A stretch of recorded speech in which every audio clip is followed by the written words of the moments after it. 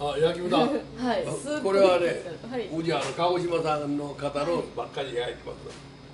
えー。肩ロースまた贅沢な。で今日は月曜と木曜日はね、はい。特売しとるんですよ。はい。普段は330円けど今日は280円。へえ炭火で焼いておられるんです、ね、もうた備長あ。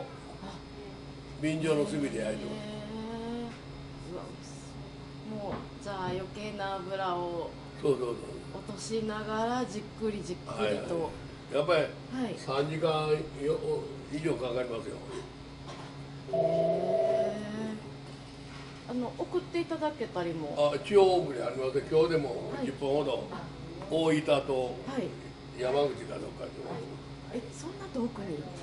もうほとんど行ってますよ。沖縄もまで送ってほしいえ東京なんかしょっちゅう送ってえほんでお客さん、はい。うちで買うてて友達に送あげたら美味しいから言うてそのそこから直接あの送ってくださいとかよう来ますよ。あ50グラムとかでも買えるんですね。あもう50でも100でもそんなあのうちは。はい、もう。もうそんなあの何もせえへんからあそうなんですね。お客さん1本くださいとかあー。100でもまあ家族層少なかったら200くださいとかそれはもううちススライスしてやるし。